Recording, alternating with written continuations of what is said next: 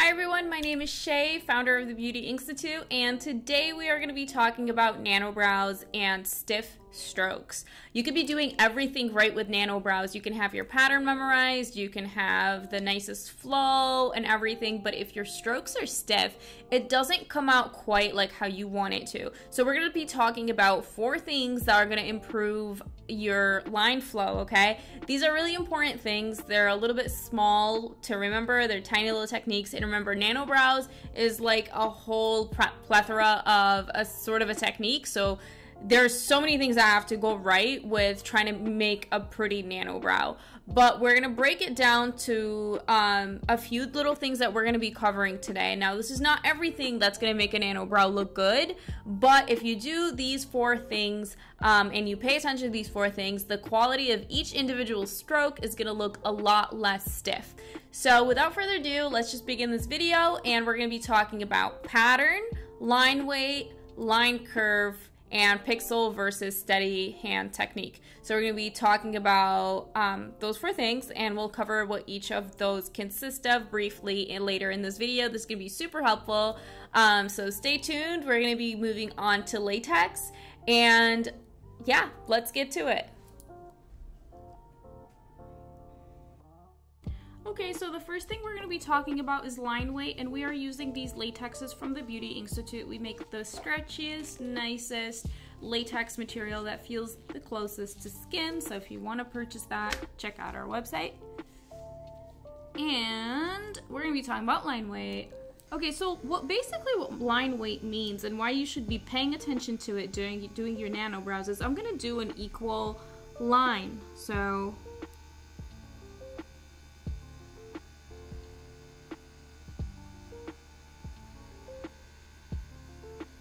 Okay, so I'm to turn that off. Now this is, this is an, a line with the same line weight all around. It looks stiff. So I'm to show you a line with different line weight around. So we're to be doing a line with a little bit better line weight or different line weights.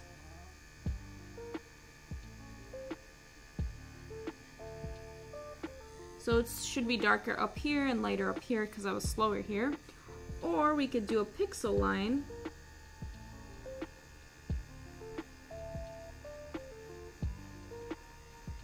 And then later,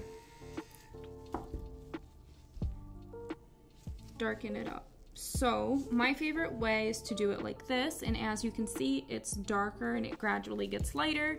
And I can also control how much lighter and how much darker. So if I go over this line a little bit more from one end and then have it feather out,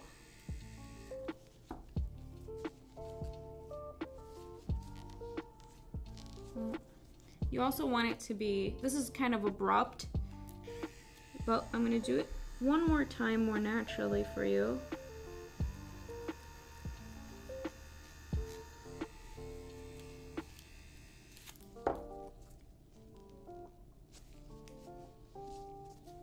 This is also called a pixel line.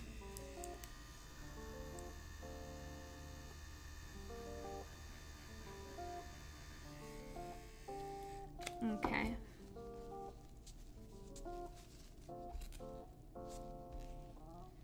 So the difference between a stiff line and a flowy line is just line weight. So when I do nano brows, sometimes I make the top of each stroke dark and the top of it light or I'll make the top light and and so I do play with the line weight and sometimes it's darker from the bottom sometimes it's darker from the top sometimes it's darker from the middle but none of my lines look like that and if they do then then the line under it would look different. So when I do different strokes you know maybe I'll do some shading or we'll throw in some variety in there. So I think what happens with a lot of nanobrow artists or beginner nanobrow artists is that all their strokes and all the brow is the same exact line weight, And that's definitely a style, but it's stiff. So that's one thing that I wanted to talk about when it comes down to stiffness is if the same color or the same gradient is throughout the entire brow, it's just gonna make it look a little bit more stiff. The second thing I wanted to talk about is line curve. Now, every line that you do has to have some curve, and a lot of reasons why your nano brows might be looking stiff is that each individual line looks like a barcode or looks like a really straight line. And giving your lines a slight curve could be tricky because sometimes you can do too much curve. So we're just going to be doing some curved strokes just to demonstrate that for you.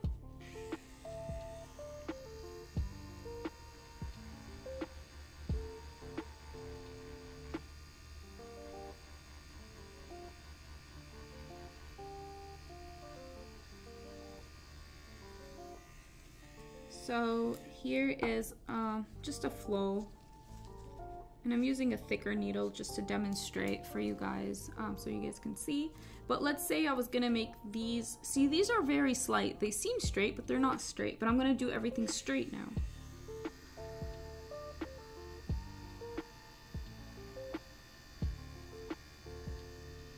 Or straighter, because it's very hard for me to do straight lines now that I'm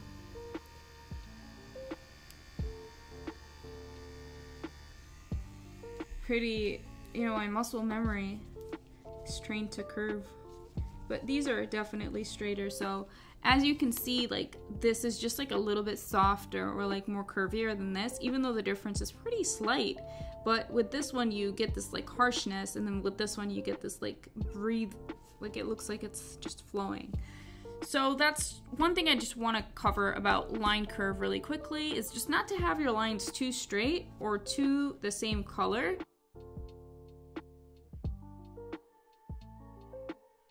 If your pattern is to, and I already have this already drawn out from a previous demonstration, but if you're taking your pattern at different points, so I'll show you like one, two, three, four, five, what happens is it starts to look like a fishtail and you can like it doesn't look blended because you can see like this is one line one long line then you can see these coming in at different points. So when you do that the the pattern ends up looking really stiff. Same thing here.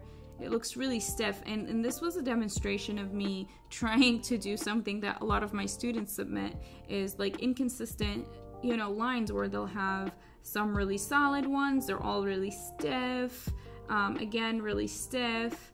And then, um, you know, it, the the pattern isn't isn't good either. So with these two patterns, the patterns are not good. You know, this one has more curve in it, but nonetheless, the pattern is not good, and it's meeting starting at different points.